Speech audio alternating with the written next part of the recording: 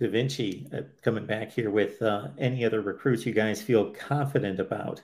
Jayden Bonsu, still at this point, I feel confident about the uh, safety from New Jersey.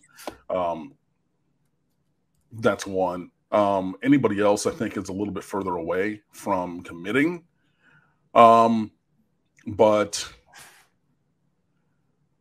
that's a good question. I feel good about Damari Brown from American Heritage, Selwyn Brown's son, Selwyn Brown, two-time uh, national champion and champion at Miami, who I worked with for 11 years, or yeah, at uh, Miramar High School. Uh, so I remember when he was coaching, the he has two sons. One went somewhere else, the first one, um, and Damari is the second son.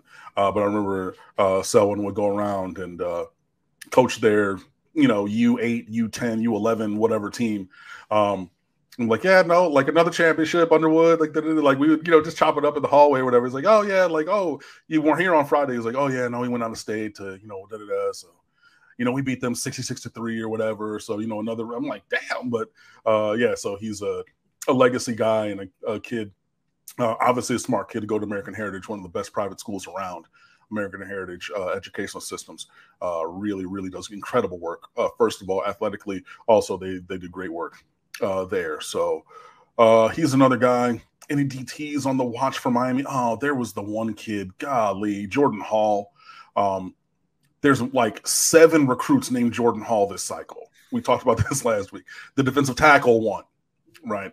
Um, so uh, he's a guy, uh, and then there's another couple guys I think on the radar as well, but nobody that I feel like is going to pop tomorrow. But if Mario and crew want to make me wrong by locking in another four star, five star, you know, tomorrow morning or something, hey, go ahead. What about uh, this guy, Hykeem Williams, second rated wide receiver in the country?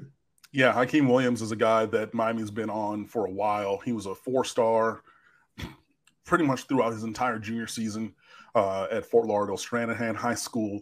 Um, he's in the six three six four range. He plays power forward for their state championship level basketball team. Saw them play at the Big Eight uh, Broward County tournament a couple years ago. Um, yeah, they don't have a bunch of, you know, like Vernon Carey and Balsa Koprivica like you know who Vernon Carey who went to Duke, who's number one player in America. Vernon Carey Jr. Excuse me. His dad played offensive line in Miami, but he went to Duke.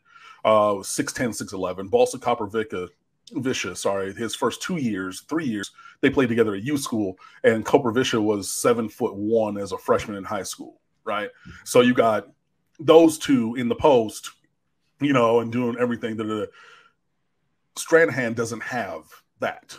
Okay, uh, but they do have a damn good team. They're more guard wing oriented. Uh, a lot of dribble drive, you know, ball movement. You know, they'll press you up and down the floor. They're super athletic, very skilled. Um, Williams is maybe not as skilled as their lead guards, but he's the big in their or one of the big dudes, the springy guy on their team. He plays the same role for them that um, Randy Moss played uh, in high school when because you know Randy Moss played high school basketball with Jason Williams White Chocolate, right? So he was a six four guy who could jump out of the gym. Hykeem Williams is a little bit more physically developed. He's more muscular, but similar in that kind of regard. But yeah, this is a guy who gets it done on the field, gets it done on the court. Um, so you know, I like the the multi-faceted nature of his athleticism. Um, so he's not just a, a, football guy. I'm pretty sure that he probably does some track as well, because pretty much everybody down here does. Um, but yeah, he's just uh he's he was at the top of the conversation that we were having on this show for a good long time. Um and then um over the course of this seven on seven year, he's really become even more coveted. So yeah, Hykeem Williams, uh it's H Y K E E M, by the way, on the spelling, but it's Hykeem, yeah. Uh, but uh he's everybody's all American now. He's five star. You know, everybody's like, oh, you know, he's Andre Johnson, you know, uh, part two, you know, things like that. Um, that's a guy that Miami, I think, desperately wants. Um, as well, they should, and everybody in America uh, should want a guy of that caliber. So, you know, we're going to see um, how things go there. I think Miami's probably going to try to make another run at him, uh, hopefully to get him in this class and everything. So, you know, we're going to see what happens with that. Uh, William Foles is another uh, guy of a similar size, not the exact same. He was a Dade Christian. He's like 6'3, 195. Uh, I think he's at some new prep school, I think in Hollywood, Avant Garde Prep or something, uh, I believe is where he's at now. But uh, William Foles is a guy who I believe is going to be committing somewhere in the beginning of August. And, uh, you know, Miami is maybe looking in that direction because, I mean, you're going to take both. Don't get me wrong. But I think that you take Foles even more if you think that you might not get Williams.